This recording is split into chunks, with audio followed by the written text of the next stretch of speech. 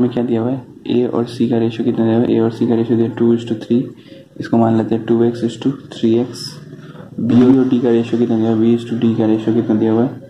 One is to to इसको मान लेते हैं y is to two y में क्या कह रहा है कि two x minus one forty two कितना हो वाई ये पहला इक्वेशन हो जाएगा। दूसरा इक्वेशन क्या हो जाएगा? Three x minus eighty equals to two y ये हमारे पास दूसरा इक्वेशन आ गया। दूसरा इक्वेशन हो गया। अब मल्टीप्लाई करते हैं पहले इक्वेशन को दो से और दो और सॉल्व करते हैं तो क्या आ जाएगा? हमारे पास एक्स की वैल्यू जो आएगी, यहाँ से एक्स की वैल्यू जो आएगी, दो सौ आएगी। नाउ एक्स की वैल्यू को पुट करते हैं पहले इक्वेशन में तो यहाँ से वाई की वैल्यू जो आ जाएगी वो जाएगी दो सौ साठ।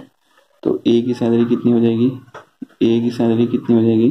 दो सौ इंटू दो आएगी चार सौ।